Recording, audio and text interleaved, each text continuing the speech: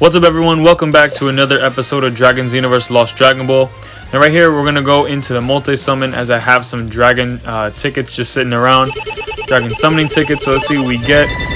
Now we did get Trunks right here, so we already have Trunks, we got 70 shards of him. So for those you don't know, you can use uh, shards of characters as War Soul Essence in a way. But um, right here, we're going to use these uh, points on the ultimate move chest. For those of you that don't know, there are red moves in the game now. So for the sake of the video, I'm going to open up one at a time and hopefully we get some red moves. Right there, we did get a red move, so let's go. Now, hopefully we can uh, open it again and get another red move. And um, yes, we do. Let's go. So two red moves on video for you guys. We got two red moves. Let me know in the comments below how many red moves you guys have for your teams uh, and now and stuff like that. Now, what I'm going to do, I'm going to equip them right now to the Gattai Zamasu, and these are going to be the main focal points I'm going to be upgrading in the future. Just because um, now I thought purple was the highest tier, but then when they released red moves, now I know to focus mainly on the red moves now.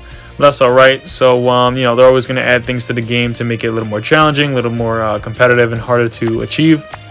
So right here, I'm going to uh, what's it called? Smelt the white and the green gear like we always do. I actually do have a lot of purple uh, moves that I could also probably smelt, but I'm going to try and upgrade this to the maximum that we can for now. Now I have a lot of gold sitting around for any character that we can get in the future, uh, preferably an SSS character or higher.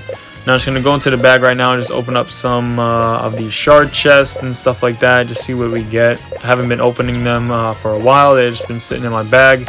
So I thought I might as well uh, do a video and just open them on camera for you all. Now, uh, what I do want to do is I'm going to go into the biography real quick. I'm going to skip it just to save some time, see how far we can get up to. And I believe we only beat three, so we did get a, um, a super bad soul. We got a purple move right there. And nothing too much on that third one, but that's alright. Now, uh, I have been looking into the Divine Domain for the Jiren, as uh, this is who I've been redeeming these points on.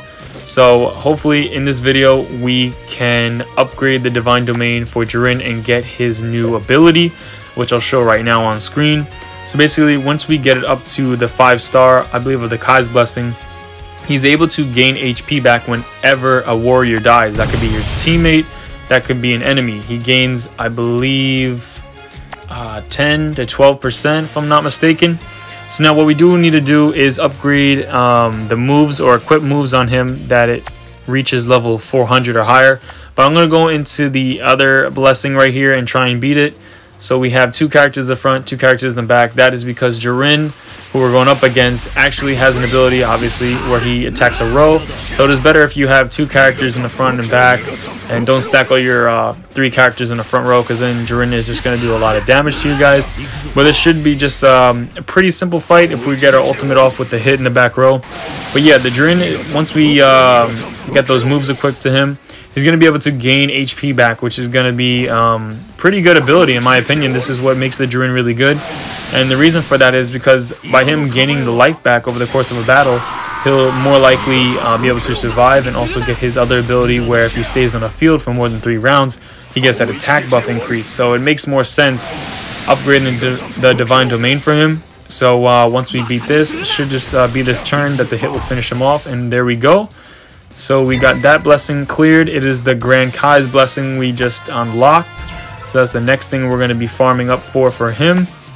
Now I'm going to quickly go and uh, probably have to equip the moves from Gattai Zamasu onto the Jiren in order to get that uh, get the moves up to level 400 but we're to do that real quick so I'm to uh, skip real quick and come right back. So there we go. We do have the moves equipped onto him.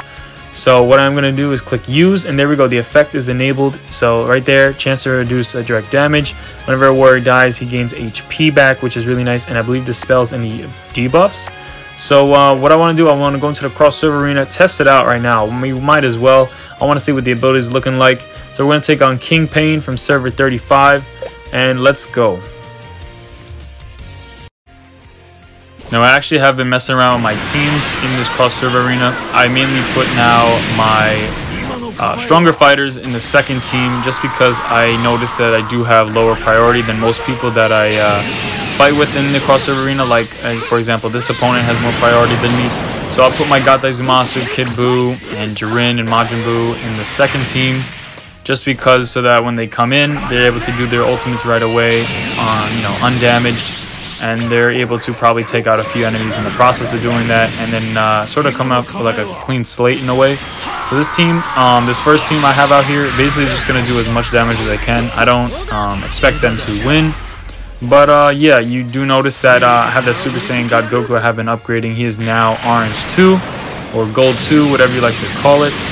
But um, he's looking pretty good. I, he's only still 4 star though, so uh, I do need to get more APT 14 shards for him and get him to 5 star to unlock the damage uh, increase.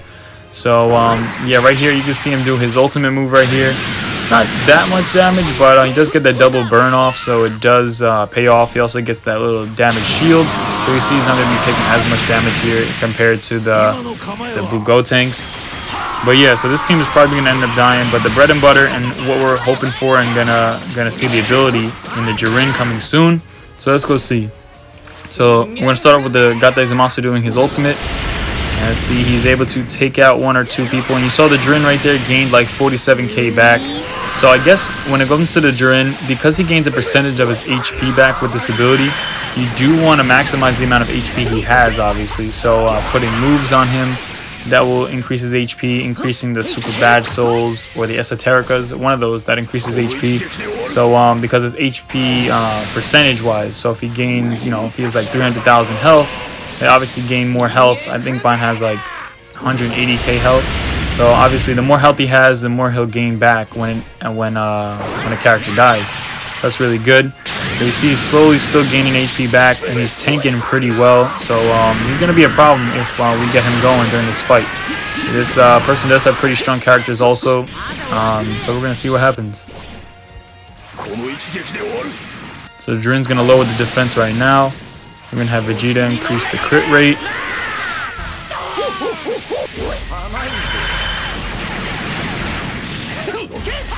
But yeah, the main thing is we're just hoping that Jiren can stay alive for three rounds, so then he'll probably have uh, more HP to gain back because some characters will probably end up dying, and then also get that attack boost. So now we do hope that this Majin Buu can come back to life because Super Saiyan God, uh, Super Saiyan God Blue Goku does hit pretty hard, so you saw the Majin Buu fall down right there. He also did take, take out the uh, Gattai Zamasu, so both are going to be coming back to life. And hopefully we can get some stuns with the Majin Buu. So let's see right here. So Jiren's actually going to do his ultimate first. I believe, uh, oh, he took out, he didn't take out any, but the Gattai Zamasu or the Goku Black did take out one. So Jiren gained health back right there, which is really nice.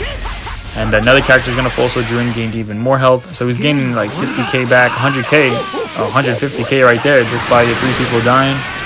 So um, looking pretty good. And remember, next round, if he does his ultimate, he's going to get that attack boost. Uh, so he didn't do his ultimate this turn, but that's all right. We got uh, Vegeta getting a paralyzed right there.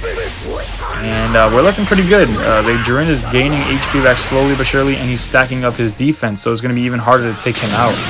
So uh, we still have the Kid Buu and the Majin Vegeta in the back row, so I'm pretty sure we should win this fight. Jiren's going to do his ultimate now with the increased attack. And you see him just gaining health back. He's just he's just a monster. But yeah, that's pretty much the fight right there.